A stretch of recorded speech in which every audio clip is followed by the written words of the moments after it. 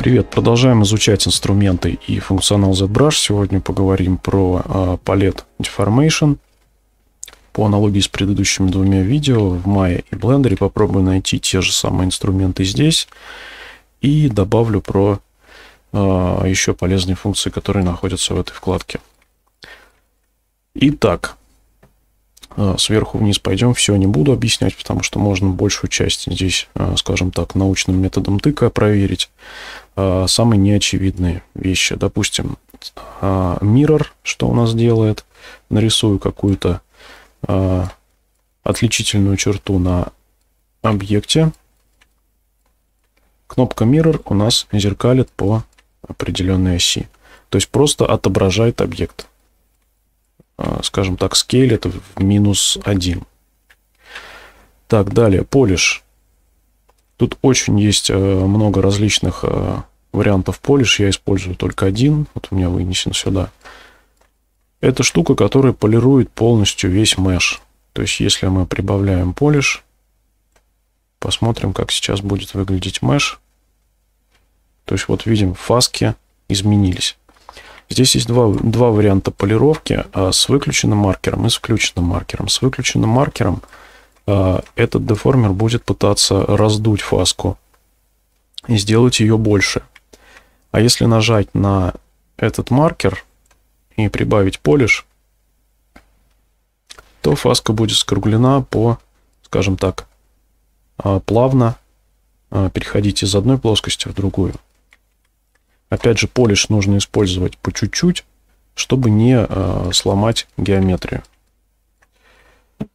Дальше. Smart Resim. Опять же, здесь есть кнопочки, по осям, по которым нам нужно использовать эти деформеры. А Smart Resim затрону. Допустим, у нас есть какая-то здесь отличительная черта. А, или, допустим, мы а, делали какой-то симметричный объект, и в какой-то определенный момент мы отключили симметрию. Потом посмотрели, о божечки что мой, что делать? Нажать вот эту кнопку Smart Resim.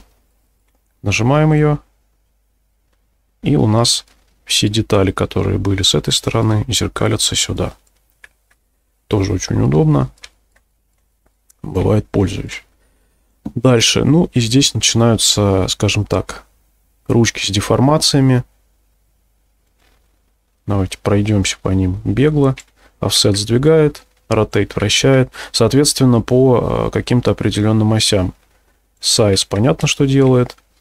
Bend сгибает по середине, а вот Smooth Bend сгибает уже более, скажем так, плавно. Ну, поэтому он и называется Smooth Bend.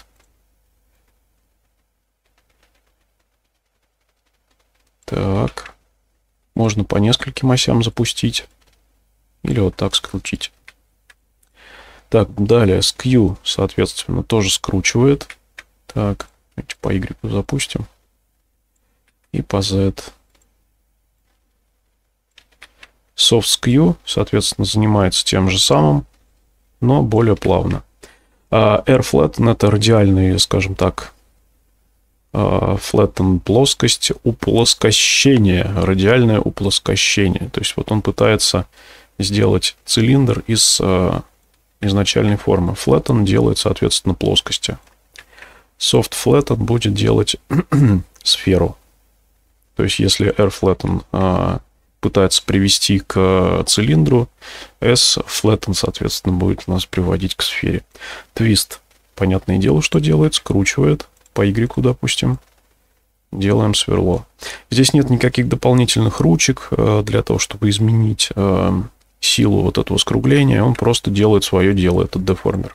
Далее тейпер утолщает и, скажем так, уменьшает э, масштаб одной из э, э, одной из части объекта. Squeeze по аналогии со стрейчем в блендере растягивает объект. Далее Noise добавляет шума, ну такого по умолчанию. Smooth сглаживает объект по аналогии с кисточкой Shift, которая у нас забендена на Shift. Контраст. э, уводит в позитивный, настраивает э, положительное значение деталей, скульптур, will be boosted.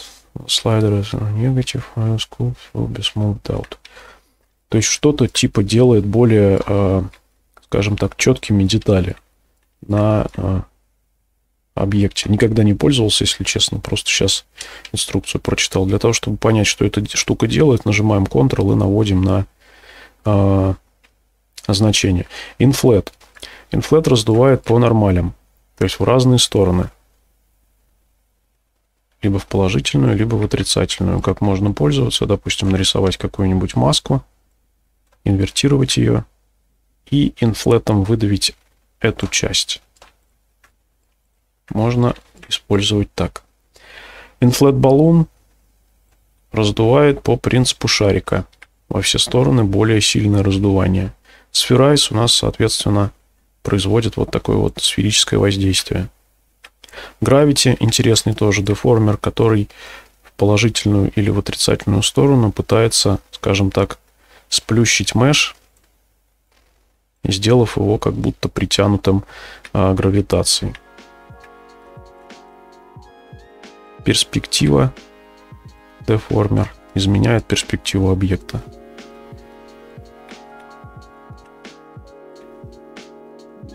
Вот и, в принципе, все, что можно рассказать про этот палетт. Надеюсь, урок был полезен.